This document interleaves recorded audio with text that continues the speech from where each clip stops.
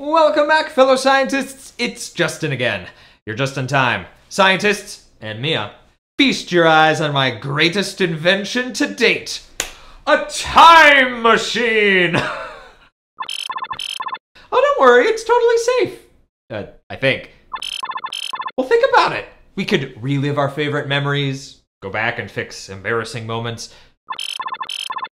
What do you mean we can't control time?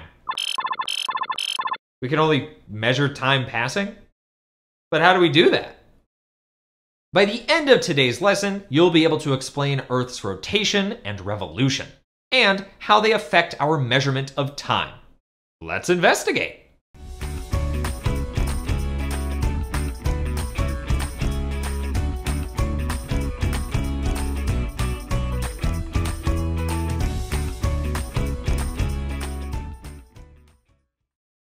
Okay, fine, we can't control time, we just measure it. But how? We use clocks to tell time today, but before electricity, people had to rely on something else the sun. They used sundials, which let the sun cast a shadow to show the hour of the day. As the shadow moved around the sundial, people could tell how much time had passed. But wait, we know the sun isn't actually moving across the sky, so what's causing the shadows to move? The Earth must be the one moving. Our planet is rotating. Our planet is spinning or turning around an invisible line called an axis. As the Earth rotates, different parts of the world face the sun, while others turn away. This makes it look like the sun is moving across the sky, when really we're the ones moving. Think about riding in a car. When you look out the window, it seems like the trees and buildings are moving past you, but really you're the one moving inside the car. The same thing happens with Earth and the sun. This spinning, or rotation, is one of the ways we measure time. Every time Earth makes one full rotation, we define it as a day. Scientists, imagine it's 8 a.m. for you right now. How long until it's 8 a.m. again?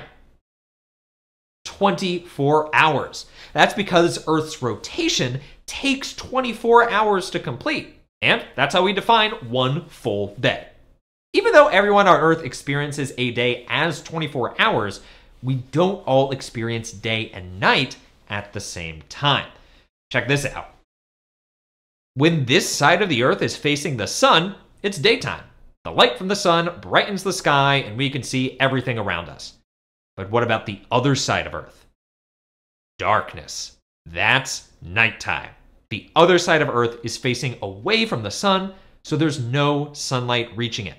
That's why it's dark, and that's when many people and animals usually sleep. Because Earth never stops rotating, different areas move into and out of the sun's light, creating a continuous cycle of day and night. And since the Earth rotates in the same direction, the sun always appears to rise in the east and set in the west.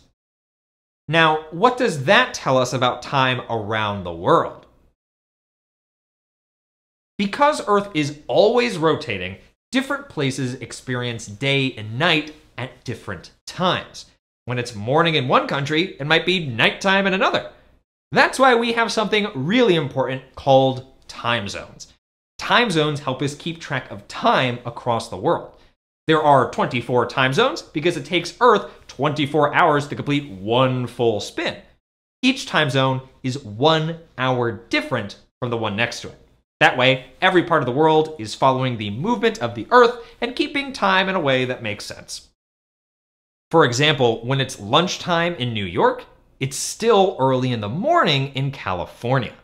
And while we're going to bed in the United States, people in Australia are already waking up to start a new day.